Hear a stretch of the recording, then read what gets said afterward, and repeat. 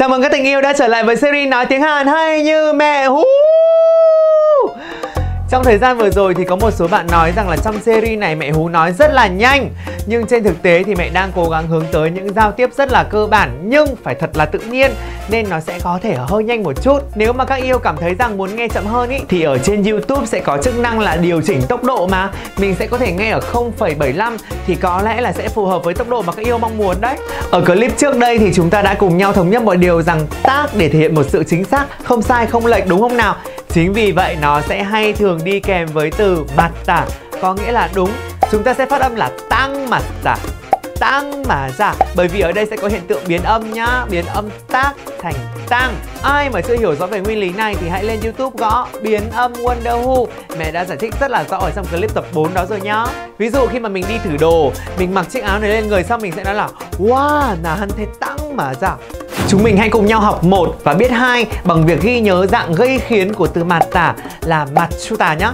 Thông thường thì mình sẽ dịch là canh, sao cho nó đúng. Nhưng tùy theo những tân ngữ khác nhau mà từ mặt chu này cũng sẽ có thể có rất nhiều ý nghĩa. Ví dụ như chúng ta có ô sư mặt chu sẽ có nghĩa là mình đo quần áo khi mình hát hoặc là mình nói mình sẽ có cụm từ 음을 맞추다 sẽ có nghĩa là mình hát cho nó đúng cái nốt nhạc đấy hoặc là mình nói sao cho đúng cái tông giọng đấy ngoài ra khi mà mình xem phim hoặc nghe nhạc sẽ thường xuyên gặp cụm từ đấy là 입을 맞추다 hoặc 입술을 맞추다 가만히 눈을 감아줄래 내가 입 맞춰줄 수 있게 사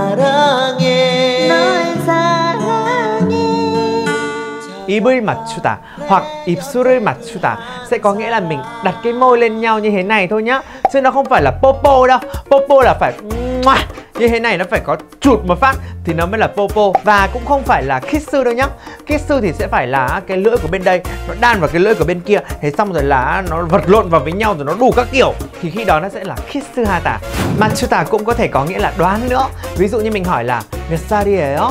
anh bao nhiêu tuổi ạ? Anh ấy thích đà đưa, anh thích thả tính với mình cơ anh không muốn nói thẳng cơ.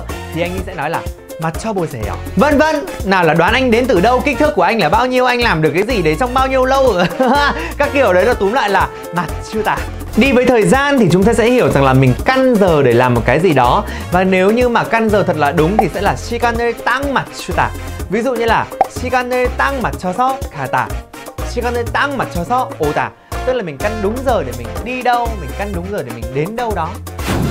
와 이제 왔네 오빠 시간 딱 맞춰서 왔네요 아 나는 일이 많아서 거의 다 시간 딱 맞춰서 가거든 시간 딱 맞춰서 가다가는 지각하게 될지도 몰라요 Bonus thêm một vài điều cho các tình yêu này Chúng ta sẽ có tác tác hata là một tính từ có nghĩa là cứng để miêu tả về các loại đồ vật các kiểu cái gì đó mà cần phải cứng gì đó đó ờ, hoặc là mình có thể miêu tả cho tính cách của con người trong thực tế đời sống khi mà người ta muốn nói rằng là có ngay đến đây luôn đây thì người ta sẽ nói là tác 기다려 cuối cùng là chúng ta sẽ có phó từ taki phát âm là taki cái này thì sẽ luôn luôn đi với dạng phủ định ở phía sau và nó thể hiện rằng là không có một cái gì đấy quá là rõ ràng 이번 주말에 계획이 있어요? 딱히 뭐 없어 왜?